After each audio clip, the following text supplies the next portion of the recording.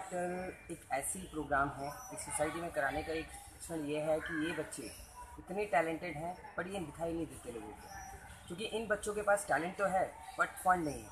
इनके पेरेंट्स भी इनको सपोर्ट नहीं करते।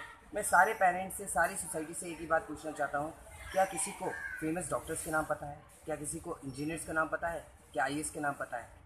नहीं पता।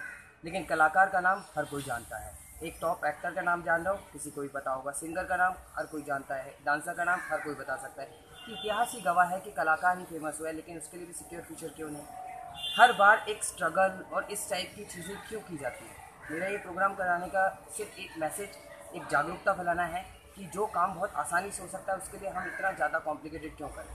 अगर इस देश का हर एक शख्स एक एक रुपया जमा करे तो एक सौ तीस करोड़ जमा होता है। सीरियसली इतना पैसा अगर एक दिन कराए दिल्ली में और मैं हीमैन हिमांशु अमनदीप और मनीषम ऑल ओवर इंडिया हर जगह हमने मतलब कार्यक्रम करा है डांस भी करा है, और हर जगह हमने इस चीज़ को स्प्रेड करा है। और हम छः साल से मतलब इस कम्युनिटी में हैं डांस भी कराते हैं, खुद भी बैटल्स करते हैं, बहुत से फॉरेन जजेस आते हैं तो हम कॉम्पिटिशन सीखते भी हैं, हर जगह। बट इस चीज़ का जो एक्सपोजर है, वो नहीं मिलता है। उसी चीज़ के लिए जिस तरीके से आप न्यूज़ चैनल आया है वही चीज़ हमें भी अच्छा लगा कि आपने इस चीज़ को बढ़ाने के लिए अपना भी स्टेप फॉरवर्ड करा और हम भी इस चीज़ को स्प्रेड करने के लिए सारी चीज़ें बता रहे हैं। तो हमें वो चीज़ अच्छी भी लगी।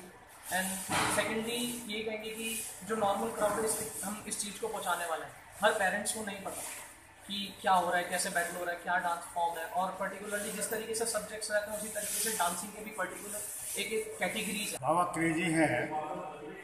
उन्होंने ये कार्यक्रम आयोजित किया है। कुछ बच्चे हमें पता लगा है कुछ बच्चे साउथ कोरिया कंपटीशन में वर्ल्ड कप कंपटीशन में जा रहे हैं।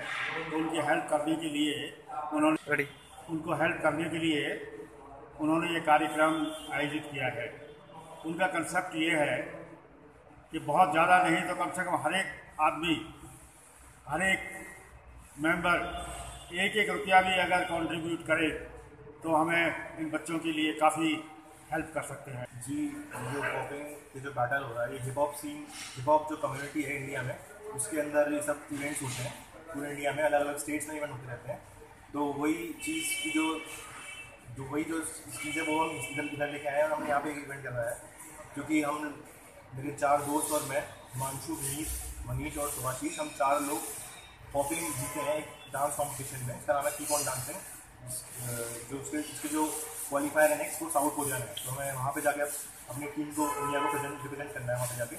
तो उसी चीज़ को हम यहाँ पर लेकर आए हैं ताकि जो नॉर्मल जो ऑडियंस है, जिनको नहीं पता इस चीज़ के बारे में, वो इस बारे में जाने और जो